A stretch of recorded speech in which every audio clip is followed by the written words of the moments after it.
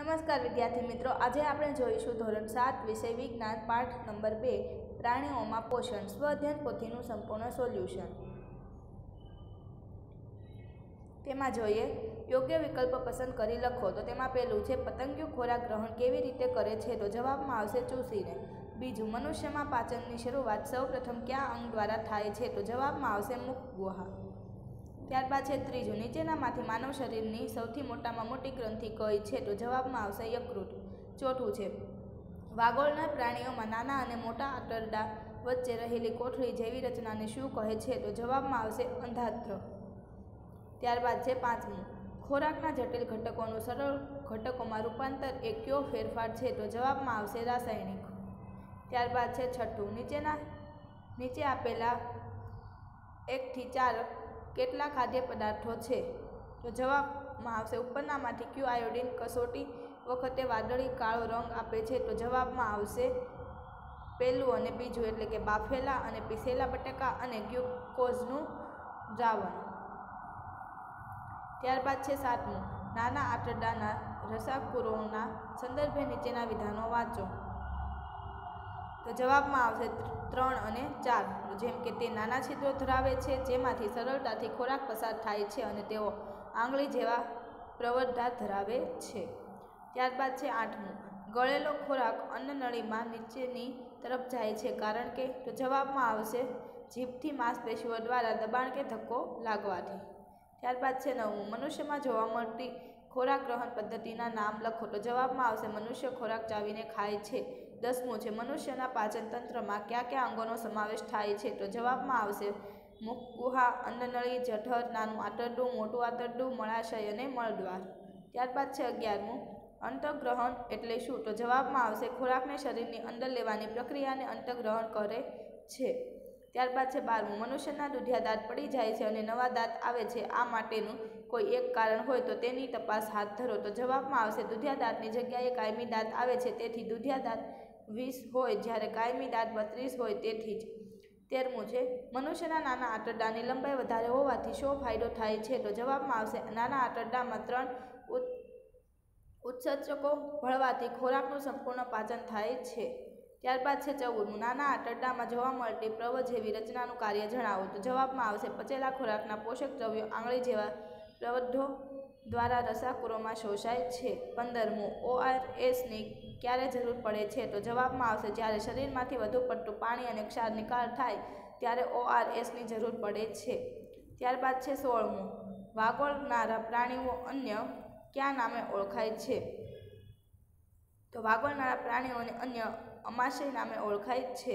સત્તરમું છે, વાગોળનારા પ્રાણીઓમાં અંગાત્રનું મહત્ત્વ જણાવો.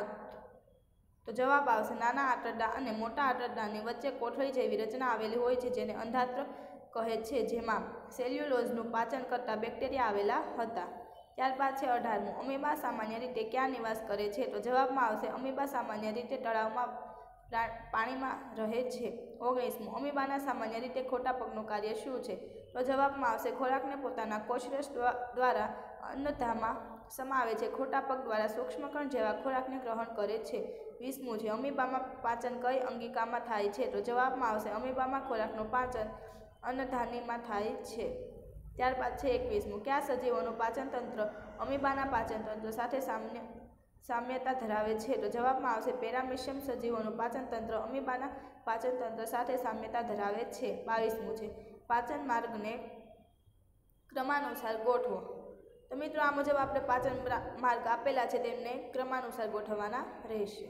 ત્યારબાદ છે ત્રેવીસમું. જીભ માટે કયું સાચું નથી? તો જવાબમાં આવશે, પાછળના છેડે મુક્ત હલનચલન કરી શકે છે. ચોવીસમું છે આપણને ઘણીવાર ઉલટી કેમ થાય છે? તો જવાબમાં આવશે, જ્યારે ખોરાક જઠરમાં અપાચિત રહે, ત્યારે આપણને ઉલટી થાય છે. ત્યારબાદ છે પચીસમું પાચક રસ પ્રોટીનને તોડીને તેનું સરળ ઘટકોમાં રૂપાંતર કરે છે. આ પાચક રસને કાર્યરત કરવા જઠરમાં કેવું માધ્યમ હોવું જરૂરી છે? તો મિત્રો, આ મુજબ તેમનો જવાબ આપવાનો રહેશે. ત્યારબાદ છે છવ્વીસમું યકૃત અને સ્વાદનું પિંડના સ્ત્રાવોનું મહત્ત્વ જણાવો. તો મિત્રો, આ મુજબ તેનું મહત્ત્વ જણાવવાનું રહેશે.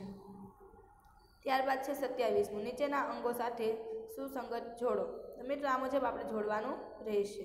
ત્યારબાદ છે અઠ્યાવીસમું. નાના આંતરડામાં કાર્બોહાઈડ્રેટનું પાચન સમજાવો. તો જવાબમાં આવશે, નાના આંતરડામાં કાર્બોહાઈડ્રેટનું પાચન થઈ ગ્લુકોઝ જેવી સરળ શક- શર્કરામાં રૂપાંતર થાય છે. ત્યારબાદ છે ઓગણત્રીસમું. દર્શાવેલ ઘટકોના પાચન દરમિયાન રૂપાંતર રિક્ત સ્થાનમાં લખો. તો મિત્રો, આ મુજબ તેનું લખવાનું રહેશે. ત્યારબાદ છે ત્રીસમું. સ્વાંગીકરણ ક્રિયા દ્વારા પાચિત ખોરાકમાં રહેલા ગ્લુકોઝને તોડવાનું કાર્ય ઓક્સિજન કરે છે. તે દરમિયાન પાણીની સાથે કયો વાયુ ઉત્પન્ન થાય છે? તો મિત્રો, આ મુજબ તેનો જવાબ આપવાનો રહેશે. ત્યારબાદ છે એકત્રીસમું. આપણે ખોરાકમાં ઘાસનો ઉપયોગ કેમ કરતા નથી? તો જવાબમાં આવશે, ઘાસમાં સેલ્યુલોઝ આવેલું હોય છે, જેનું પાચન અમુક પ્રકારના બેક્ટેરિયા દ્વારા જ થાય છે, જે મનુષ્યમાં હોતા નથી. બત્રીસમું છે. મને ઓળખો. હું રસધાનીઓ સાથે સતત આકાર અને સ્થાન બદલું છું. તો જવાબમાં આવશે અમીબા. ત્યારબાદ પ્રવૃત્તિ છે. મનુષ્યના પાચન તંત્રના અવયવોનું નામ પુઠ્ઠા પર લખી બાળકોને ક્રમમાં ગોઠવતા કહો અને દરેક અંગનું કાર્ય જણાવવા કહો. પ્રોજેક્ટ કાર્ય છે. તમારા ગામમાં આવેલા તબેલા કોઠની મુલાકાત લો અને નીચેના પ્રશ્નોના જવાબ મેળવો. તો તેમાં તેત્રીસમું છે. પ્રાણીઓને ખોરાકમાં શું શું આપવામાં આવે છે? તો જવાબમાં આવશે પ્રાણીઓને ખોરાકમાં ઘાસ ખાણ, અનાજ, પાણી વગેરે આપવામાં આવે છે. ત્યારબાદ છે ચોત્રીસમું પ્રાણીઓને દિવસ દરમિયાન કયા કયા સમયગાળામાં ખોરાક મળે, ખોરાક અને પાણી આપવામાં આવે છે? તો જવાબમાં આવશે, પ્રાણીઓને દિવસમાં ત્રણ વાર સવાર, બપોર અને સાંજ એમ ત્રણ વાર ખોરાક અને પાણી આપવામાં આવે છે. ત્યારબાદ પાંત્રીસમું છે, પશુઓને પાણી પીવડાવવા માટેની શી વ્યવસ્થા છે? તો જવાબમાં આવશે, પશુઓને પાણી પીવડાવવા માટે અવેડા, ટાંકી, કુંડી જેવી વ્યવસ્થા હોય છે. ત્યારબાદ છે છત્રીસમું પ્રાણીઓની માવજત તથા સ્વચ્છતા કેવી રીતે રાખવામાં આવે છે તો જવાબમાં આવશે પ્રાણીઓના વાળ સતત સમય અંતરે કાપવામાં આવે છે, અમુક સમયે નવડાવવામાં આવે છે, અમુક સમયે ખરી કાપવામાં આવે છે. સાડત્રીસમું છે પશુઓના રહેઠાણને સ્વચ્છ રાખવા કયા કયા પગલાં લેવામાં આવે છે? તો તો મિત્રો આ મુજબ આપણે જવાબ આપવાનો રહેશે. મિત્રો આ વીડિયો જોવા બદલ આપનો ખૂબ ખૂબ આભાર.